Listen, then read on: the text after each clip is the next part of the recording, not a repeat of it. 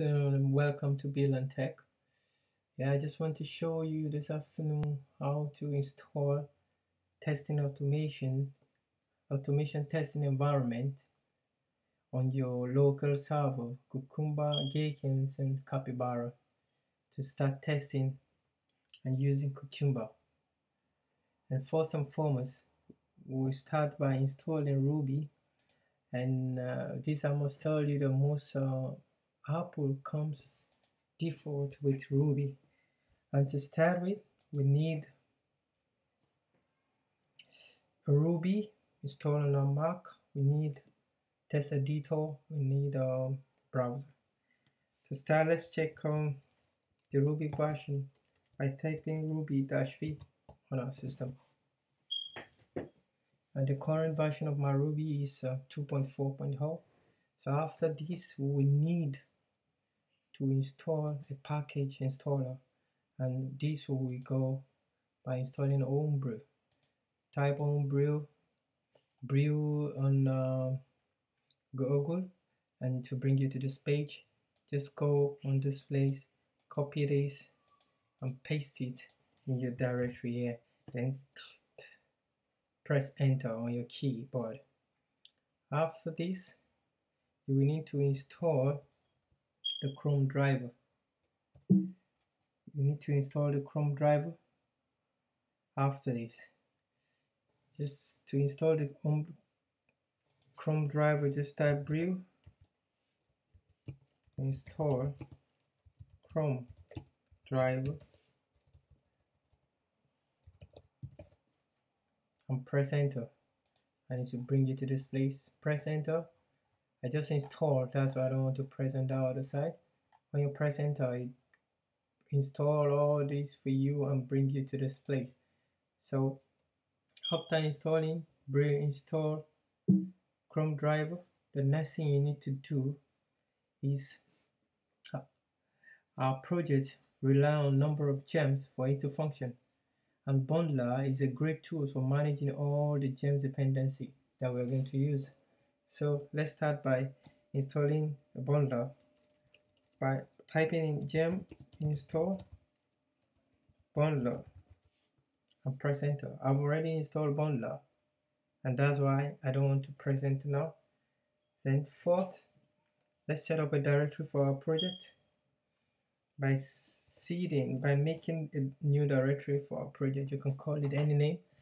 This maybe I'll just call it um, Amazon or eBay. Let me just call it eBay. Let me say e. Let me say make directory mkdir eBay. Then let me cd to eBay. You can see it just come to my desktop now. Then change directory to eBay now. So that will be in the directory. Now this is the in thing. Now the shortcut for setting up Cucumber is by typing Cucumber dash dash init. What this would do what this command will do for us is it will set up all the folders we need the step the features the step definition and the environment variables folder that we need. We can create this manually that we need in our in our testing that we need to set up our gems and all the things. Good press enter and you see what happens.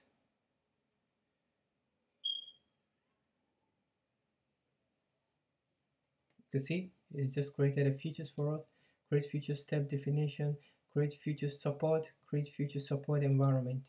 And these files that is where in this environment we we add some things to it and the support and the definition will be where our steps for our features will reside. So right now let's open with our test editor can click Sublime. Dot. I'm using Sublime test. And that will bring me to this place. You can see it brings me open eBay. And you see inside my features you can see step definition folder and step and the environment file that this this that we created in this place. You can see it here. This is it. This is it. So now we need to initialize our init file, our gem file itself that we will use in compiling our gem, where our gems will be stored. So to do that, just write bundle, type in bundle init, and you see what happened. See, write a new gem file. If you look at our folder, a gem file has been added. You see, now this is where we had our gem. This is the sub. This is the mm, this is where it begins. The work begins now. Initiate, initializing everything. Now to begin, let's type in gem. We need three gems: Capybara. We need Cucumber. We need Selenium WebDriver. The first, let's put in Capybara. Capybara. Second, let's put in cucumber gem. Cucumber. Third, let's put in Selenium WebDriver. Selenium WebDriver. We are good to go. You this gem file, you can add as many gems that you need for testing. But to begin, these are the three ones we that are important for now. So save it and go to this place then run bundle install on your terminal bundle install on your terminal and then install this file. If you have not typed in bundle install the file is not yet installed. So click enter and you see what happens.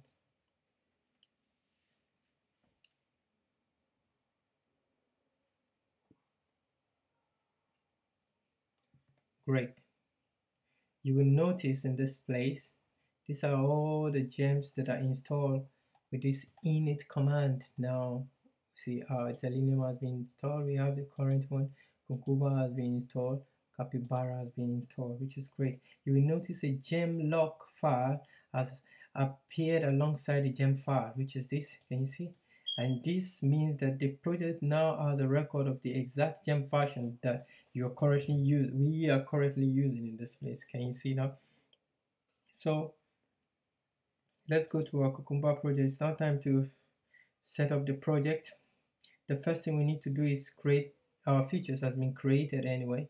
So now we need to create a feature a feature file. To do the to, to make it faster, this is what I do. I've already copied after installing this to make it faster. I will need to install this file that I've already copied. This command in my I've already copied this environment file. You need to install this environment file. Let me just copy and paste this environment file. To be faster we need this environment file in this place in this environment file. Yeah to be faster I don't want to write right right so I just write in this place this environment files help us. This is what it does.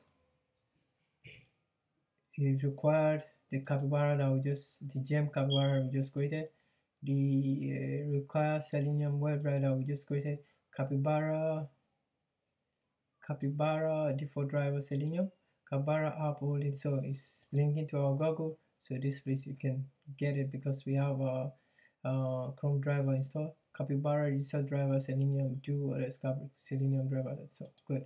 This is an environment file. So with this setup now, all we need to do is to start creating our feature file, which we will go on later.